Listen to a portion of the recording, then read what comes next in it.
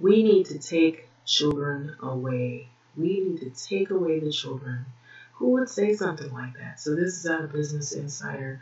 Bombshell report is alleging that the former Jeff Sessions and Rod Rosenstein were aggressively in favor of separating migrant families at the border of Mexico. And so this just came in and it was alarming because I know that right now this would be horrible because we're in the middle of a pandemic. So Sarah Al Arshani, October 6, 2020. So this is Jeff Sessions, who was the former Attorney General. A draft reported from the Justice Department Inspector General said former Attorney General Jeff Sessions and former Deputy Attorney General Rod Rosenstein were a driving force behind the President Donald Trump's child separation policy at the U.S. Mexico border, the New York Times reported on Tuesday. So Sessions and Rosenstein called for the separation of children, no matter how young they were, the draft reported found, according to the the Times. And so former Attorney General Jeff Sessions and the top justice officials were the driving force of President Trump's child separation policy at the U.S. border. A new draft report from the Department Inspector General said, according to the New York Times. So the Times reported that Tuesday the draft report on Michael Horowitz's investigation into the zero tolerance policies. It said Sessions and former Deputy Attorney General Rod Rosenstein called for the separation of children no matter how young they were. So the draft, which is being reviewed by officials, is subject to change. The newspaper has also stated, and so the Times said it reviewed 86 page draft report and cited more than 45 interviews with key officials emails, other documents, and spoke with three government officials who had read it. So MSNBC Jacob Soboroff tweeted late Tuesday that the NBC News had also seen the draft report and confirmed the Times reporting. So the Times said five attorney generals had told Justice Department officials in May of 2018 that they were deeply concerned about orders to prosecute immigrants at the border, even if they had to separate kids from the parents. So we need to take away the children. Jeff Sessions reportedly told the prosecutors on a call that month. So the Times said that the prosecutor described that Jeff Sessions said in a note. So if care they care about the kids and don't bring them, won't give amnesty to people with kids. So Jeff Sessions did not comment to the Times for the Inspector General's report. Soon after that call, Rosenstein doubled down on Sessions' message, telling the prosecutors, described that Sessions said in the notes, if they care about the kids, that don't bring me.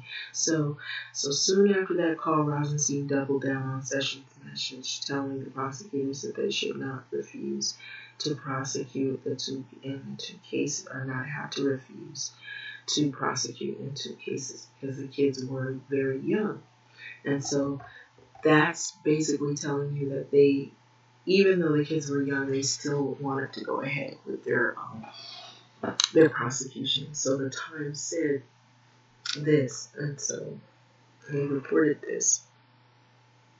And so Rosenstein defended himself to the investigators and told the Times that if any U.S. attorney ever charged a defendant they did not personally believe warranted prosecution and they violated their oath of the office.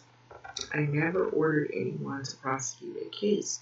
So the Times reported that after Rosenstein's call, John Bash, the U.S. Attorney in Western Texas at the time, told his staff, per the Attorney General policy, we should not be categorically declining immigration prosecutions of adults and family units because of the age of the child. So that's basically what was written down and so the Trump administration's zero tolerance immigration policy led to thousands of migrant children being separated from their parents at the U.S. Mexico border.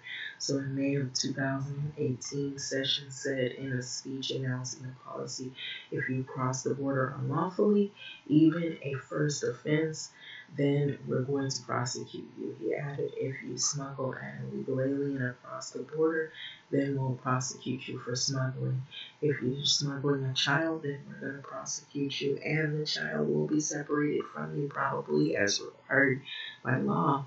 And if you don't want your child to be separated, then don't bring them across the border illegally. So it's not our fault that somebody does that.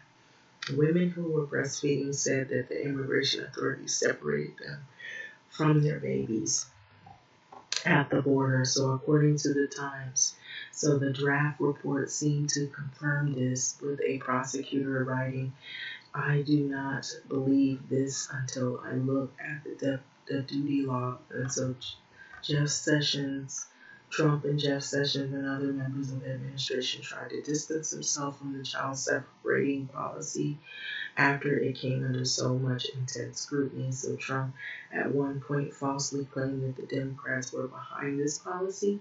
So in the draft report, Horowitz wrote that while Sessions largely allowed the blame to fall on Trump and the officials of the Of Homeland Security, he understood that it entailed separating kids from their families and was on board because he thought it would deter illegal immigration.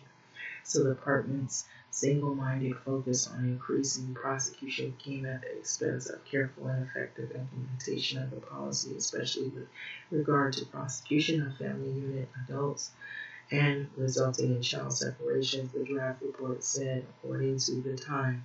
The news of the Jeff Sessions push for a policy led to a sharp criticism. Send him to Hague, Representative Rashida Tlaib said in a tweet. So, Jeff Sessions, we need to take away the children, Mr. Sessions sole prosecutors, according to the participant note.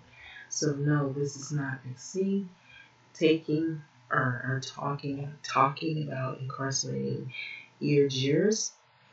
This is the former U.S. Attorney General. So basically, so that didn't try to make a point. So the DOJ did not reply to the Business Insider request for comment, but told the Times.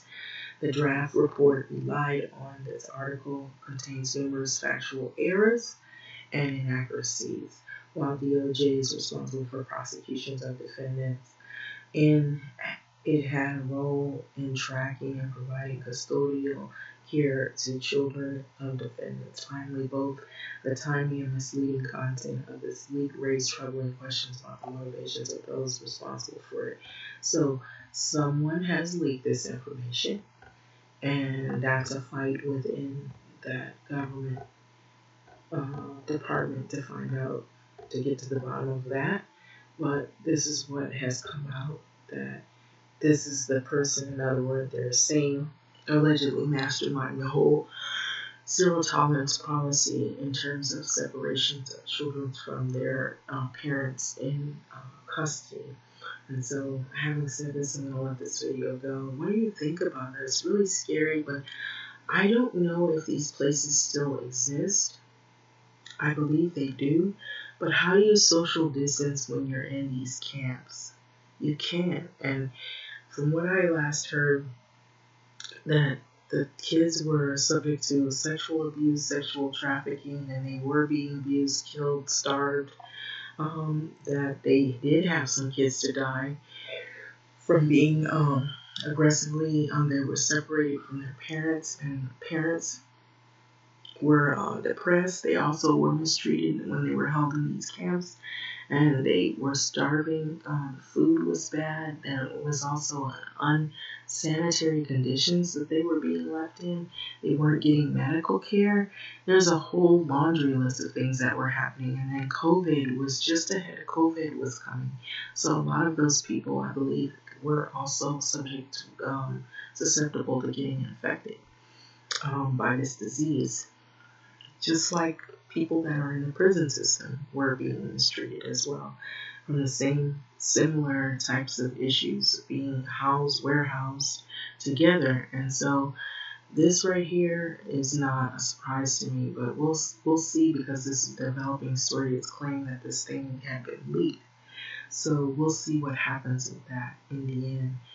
Like, comment, subscribe, and thank you for listening.